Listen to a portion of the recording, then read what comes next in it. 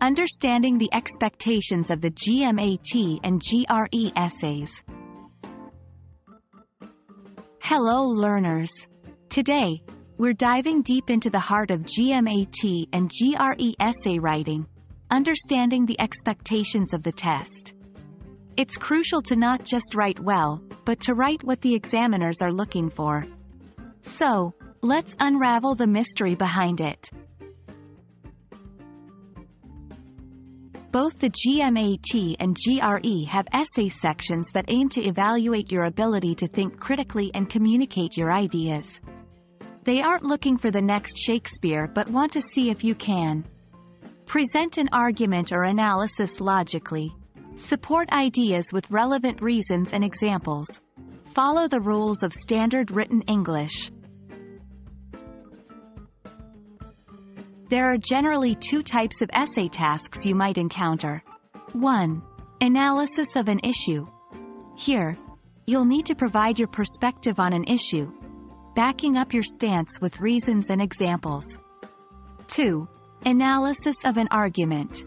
In this task, you'll evaluate the logical soundness of an argument given to you, rather than presenting your own. For both tasks, it's essential to understand what the prompt is asking and respond accordingly. The essays are scored on a few critical areas. Quality of ideas. Is your response thoughtful and relevant to the prompt? Organization and development. Have you structured your essay well, with a clear introduction, body, and conclusion? Do you have transitional phrases? Clarity. Can the reader easily follow your train of thought? Grammar and syntax. Is your essay free of errors? It's crucial to address all these areas to secure a high score. To really align with what examiners are looking for. 1. Stay on topic.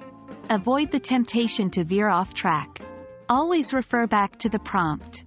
2. Be objective especially when analyzing an argument. Stick to logical reasoning rather than emotional appeal. 3. Practice. The more you write, the better you'll become at understanding the nuances of various prompts. Mastering the essay section of the GMAT and GRE isn't just about being a good writer.